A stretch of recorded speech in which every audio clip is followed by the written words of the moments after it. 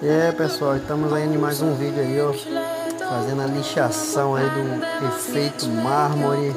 Começando aí puxando essa lixação aí para deixar com aquele brilho, né? Vai ser um efeito mármore aí branco com folhas de ouro aí, pessoal.